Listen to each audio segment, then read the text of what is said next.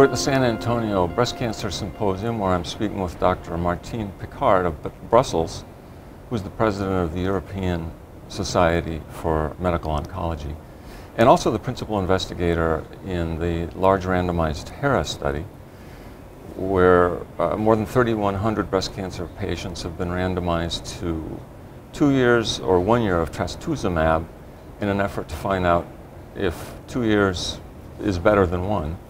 Dr. Piccart, what's the answer? The answer is no. There is absolutely no evidence that uh, two years provides any additional benefit.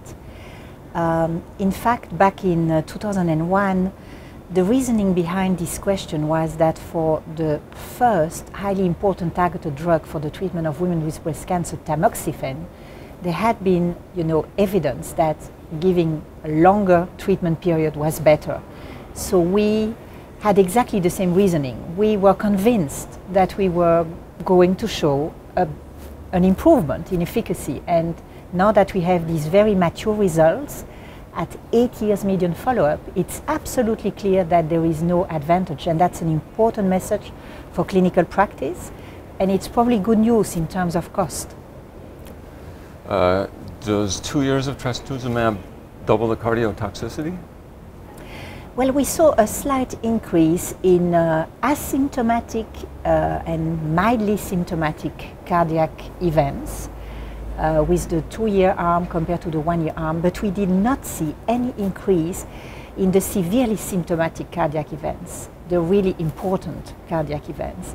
The rate was exactly the same, 0.5% in the two treatment arms. 0.5% in, and that would be heart failure? And that would be essentially heart failure, yeah. yes. And you also presented uh, eight-year follow-up data on one year of trastuzumab versus no trastuzumab. What were some of the key findings there? Well, here we do have very good news because, in fact, um, with sequential intention to treat analysis of disease-free survival and overall survival, we saw uh, an apparent attenuation of the benefit of trastuzumab given for one year over time.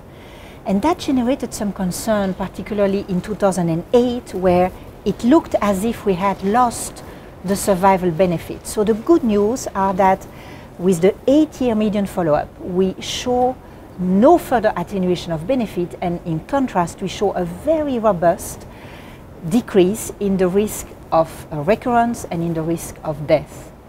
So the treatment is really working in spite of the selective crossover which occurred in the trial, which is a very high crossover rate. 50% of the women in the observation arm of HERA uh, started trastuzumab in the months following the release of the first results in 2005.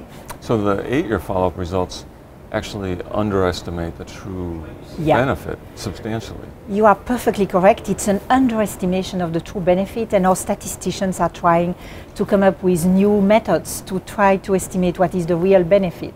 I think it's still very striking that we see this important reduction in risk in spite of uh, substantial crossover.